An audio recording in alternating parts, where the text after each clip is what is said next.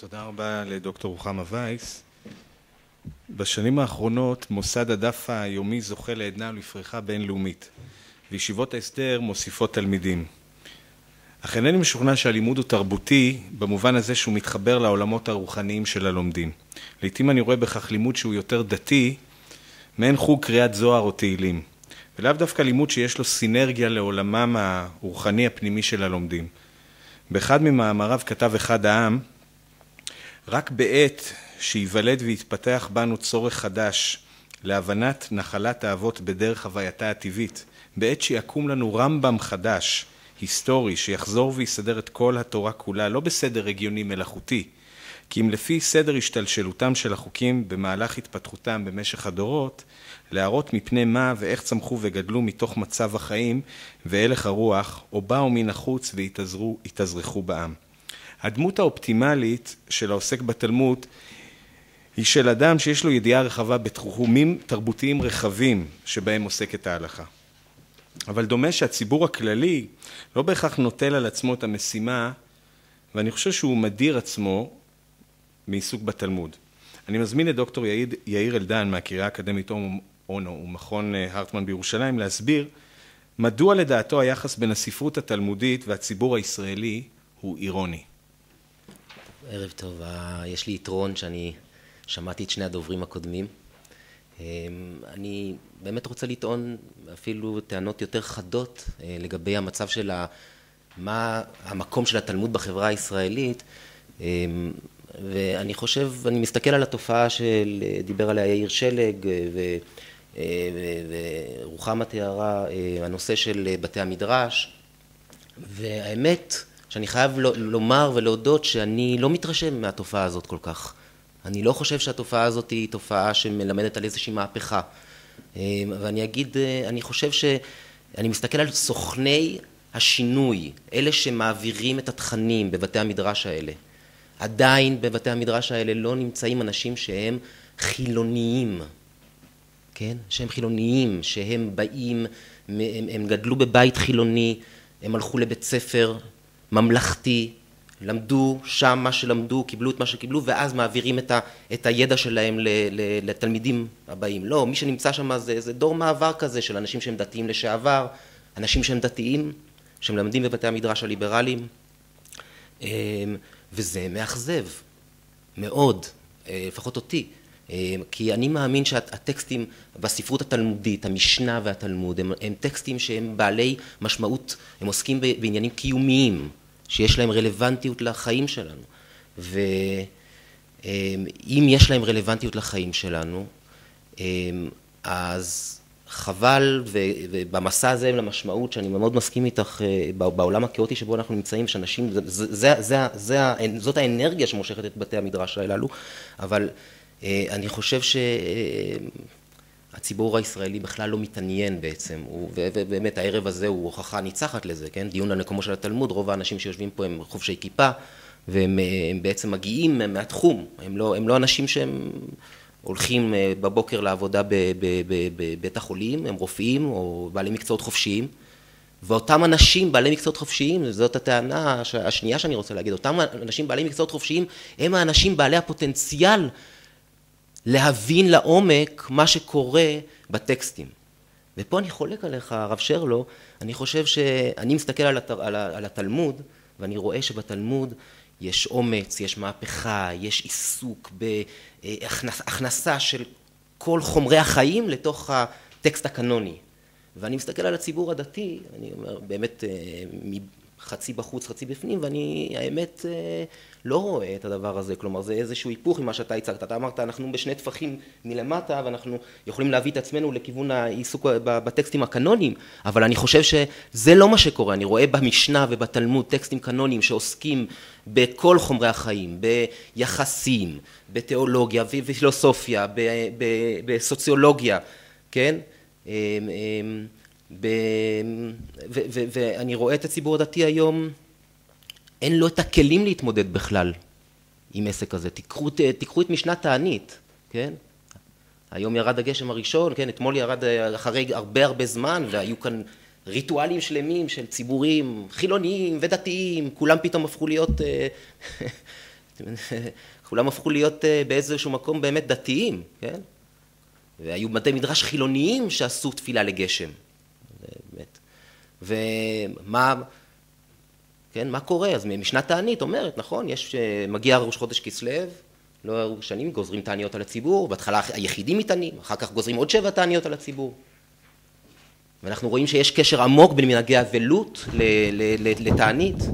כן? אבל כשאתה מסתכל לעומק על הדברים האלה והתוספתא בתענית זה חיבור קדום של אבלות ותענית, כן?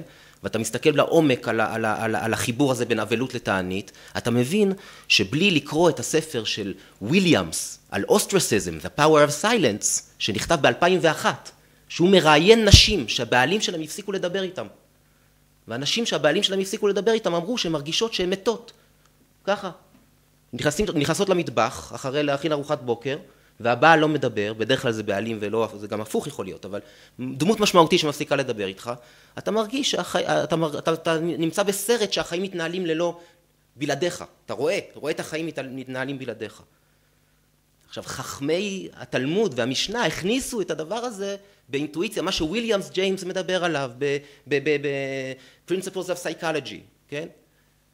הוא אומר, מה היה הדבר, הדבר הגרוע ביותר שיכול להיות זה שמתעלמים ממך. זה עונש יותר גרוע מעונש פיזי, כן? אז להבין את משנת תענית לעומק, מה קורה שם, למה מחברים מנהגי אבלות למצב שבו אין גשם, זה להבין שיש תחושה של נידוי של אלוהים. עכשיו, אז אני אומר, וזו דוגמה קטנה, אני חושב שזה נכון לגבי כל הטקסטים. באמת, הטקסטים האלה טקסטים שעוסקים בדברים שהיום בני המאה ה-21, שאנחנו יודעים כל כך הרבה על פסיכולוגיה ופילוסופיה ואנתרופולוגיה, כדי לגשת לניתוח הטקסטים, מי שיכול לגאול את הטקסטים האלה זה דווקא הציבור החילוני. הציבור הדתי לדעתי, למעט יש בשוליים אנשים שיש להם ידע רחב והם גם פטורים מהסמכותנות הזאת שאת דיברת עליה, כן? תפיסה סמכותית של הטקסט, כן? שהטקסט נכתב על ידי רבנים, מה אפשר להגיד על הטקסט? פחד, פחד להגיד משהו, פחד להגיד משהו על הטקסט. תפיסה שבכלל לגבי המקרא, כן? הרי בדיוק מה שאתה דיברת הרב שרלו, המהפכות האלה שחכמים עשו, היום מי, מי יעז להגיד משהו שחכמים עשו מהפכות שלמות שסותרים דברי תורה ממש, מפורשים. אז אז הציבור החילוני הוא בעל פוטנציאל אדיר, אבל הוא לא נמצא שם. וזה באמת, במובן הזה יש משהו אירוני במצב שלנו, וזה חבל. חבל, הטקסטים האלה מחכים. אבל תראו, באמת, אני רוצה להגיד, אחרי שאמרתי, אני חושב שזה הדבר המרכזי שאני רוצה להגיד, אני רוצה לחזור לביאליק. ביאליק הוא הדמות המרכזית בדבר הזה. הוא כתב שתי מסות שהן באמת מסות חובה, הלכה והגדה ומשנה לעם. כן? בשתי המסות האלה הוא מציג את כל הדיון הזה באופן אינטואיטיבי. ואני חושב שהוא לא, הוא לא, הוא באמת כבן אדם שעמד לפני ארון הספרים, כן, בשיר הנפלא שלו, עומד לפני ארון הספרים, הוא רואה שם עכברים, בארון הספרים, הוא רואה עכברים. באותם, באותם, באותם, באותו מקום שבו הוא יכול, הוא, הוא מצא את כל המשמעות של החיים שלו, פתאום הוא רואה שבר, הוא לא רואה כלום, הוא רואה דברים שהם אה, לא, לא, לא רלוונטיים לחיים שלו. אז הבן אדם הזה, תראו מה הוא כותב במשנה לעם. הספר הראשון אחרי כתבי הקודש שנשמר במקורו העברי ועמד בידי האומה מידי סידורו ועד היום היא המשנה. התורה שבעל פה, רוח הפה, ונשמת חייה של התורה שבכתב עצורה ועומדת במשנה. המשנה היא הבבואה הנאמנה ורבת השנים, הפנים של כל אורחות החיים וצורות התרבות ששלטו בישראל כמה מאות שנים אחרי חתימת כתבי הקודש ובעוד העם מעורה באדמתו. בצידו של המקרא מכרה הזהב הטהור של השפה העברית הקדמונית משמשת לנו המשנה מחצב אין תכלה בין מעמקים עצומים של אותה הלשון העברית עצמה בפניה החדשות כאשר נגללה, נגלתה בימי חיותה האחרונים כן ביאליק, כשהוא רואה את המשנה, הוא מבין שהמשנה זה המקום המרכזי, ואני חושב שאם יש לי משהו, דבר נוסף להגיד לציבור החילוני שלא נמצא פה ממש, כן, זה תיקחו את המשנה. המשנה זה המקום שבו אתם צריכים להתחיל. אז מה, אז פה מגיעה השאלה, אז מה, המשנה זאת הלכה, כן, נכון? איך, איך, מה, מה נעשה בהלכה? אנחנו חילונים, מה נעשה בהלכה? זאת השאלה הגדולה. מה התשובה של ביאליק, שחשב על זה כבר בהלכה והגדה, כן? הוא אומר, הנה הולך וגדל דור באוויר, שכולו מימרות ופזמונים, כן? אלה שהם בלי, בלי, בלי הלכה, רק עם אגדה, ועל מיני דברים שכולם הבל פה ורוח שפתיים, הולכת ונבראת מן יהדות של רשות. קוראים בשם לאומיות, תחיית ספרות, תחייה ספרות, יצירה, חינוך עברי, מחשבה עברית, עבודה עברית, וכל הדברים הללו תלויים בסערה של איזו חיבה. ככה תראו איזה, איזה ציניות, חיבת ארץ, חיבת שפה, חיבת ספרות. מה, מחיבה, מה מחירה של חיבה אווירית הוא קורא לזה? זהו פשוט... ומה הוא אומר? הוא אומר בסוף של ההלכה והאגדה, שימו עליי מצוות, כך הוא אומר. עכשיו הוא לא מבין, הוא לא מפרט מה זה שימו עליי מצוות. מה בן אדם חילוני אומר, מה זה שימו עליי מצוות? איזה חובה יכולה להיות לבן אדם חילוני? זאת השאלה. פה אני באמת רוצה, לה, אני, אני, אני אולי, אני, אה, כשאני אה, לומד הלכה, מה שאני יכול להגיד כבן אדם חילוני, מה שאני עושה, ואני חושב שבמתח שבין תלמוד ומעשה, אני מרגיש שזה מעשה גמור, מעשה גמור. זה לקחת את הגרעין שממנו עשויה ועצורה ההלכה, לקחת את הגרעין ההומני, האקזיסטנציאלי, ולהוציא אותו, לשאוב אותו מתוך ההלכה, לשאוב אותו מתוך ההלכה, ואם אני אעשה את הדבר הזה בצורה שהיא אמ, אמ, נאמנה גם לטקסט, באינטראקציה עם הטקסט, כן? אני מסכים עם הדבר הזה, כולנו באינטראקציה עם הטקסט, כן? אני לא, לא טוען שאני חושף פה איזה משהו שהוא לגמרי של הטקסט, אבל, אבל אם אני עושה את זה בצורה שהיא נאמנה לעצמי ולטקסט, אני חושב שאני במובן הזה מקיים הלכה, מקיים הלכה. תלו את, למשל, בתוספת החגיגה, שמיכת הידיים, המחלוקת הראשונה שבה חלקו חכמים, כן? תוספת החגיגה אומרת, מה זה שמיכת הידיים על קורבן, בחג, כן? שמחלוקת בית שמאי ובית הלל. האם מותר לעשות איסור שבות, שאתה סומך ידיים על, על קורבן בחג? ובית הלל אומרים, ואנחנו, חשוב לנו שאנשים יביאו קורבנות, אנחנו מפחדים שאנשים לא יביאו קורבנות, ולכן אנחנו אומרים, כי, למה? כי הם יצטרכו לסמוך על ידיים על הקורבן לפני החג. אבל מה, אנשים אוהבים לסמוך ידיים על הקורבן ולהביא את הקורבן במקום. יש משהו בריטואל הזה, אז אנחנו נאפשר את זה. ובית שמאי אומרים, לא נאפשר את הדבר הזה, אנחנו חושבים שאסור לסמוך ידיים על קורבן בחג. ותוספת החגיגה אומרת, למה המחלוקת הזאת, איך היא מתארת את התפתחות המחלוקת? הרפלקסיה הנהדרת של חכמים על איך היא מתפתחת מחלוקת, לפחות בתוספת החגיגה, כי תלמידי בית שמאי ובית הלל לא שימשו כל צורכן. כן? כש...